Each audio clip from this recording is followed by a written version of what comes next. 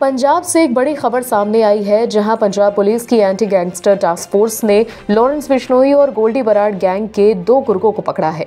आरोपियों की पहचान मनदीप सिंह और जतिंदर सिंह के रूप में हुई है। इसी जानकारी को सोशल मीडिया एक्स पर पुलिस महानिदेशक गौरव यादव ने साझा किया था।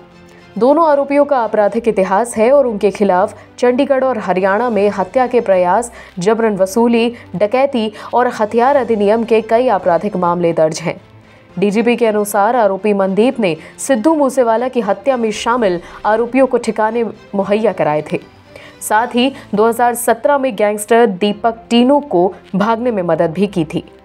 पंजाब की एजीटीएफ ने व्यक्तियों को गिरफ़्तार किया है और उनके कब्जे से दो पिस्तौल और 12 ज़िंदा कारतूस भी बरामद हुए हैं।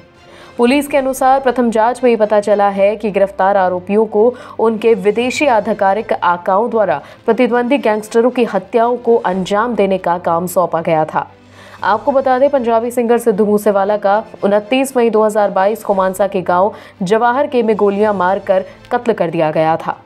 उस वक्त वो बिना गनमैन के दो दोस्तों के साथ रिश्तेदार के घर जा रहे थे। इस केस में पुलिस ने दो शूटर हरियाणा के प्रियवर्त फौजी अंकित सिरसा, कपिल मुंडी और कशिश को गिरफ़्तार कर लिया था।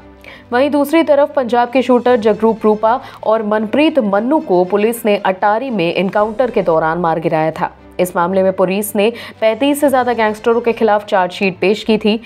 हत्याकांड को लॉरेंस बिश्नोई गैंग की साजिश बताया गया था, जिसका मास्टरमाइंड विदेश में बैठा गैंगस्टर गोल्डी बराड़ है। यही नहीं, सिद्धू मूसेवाला के मर्डर के बाद गोल्डी बराड़ ने सोशल मीडिया पर वीडियो जारी कर हत्या को कबूला भी था।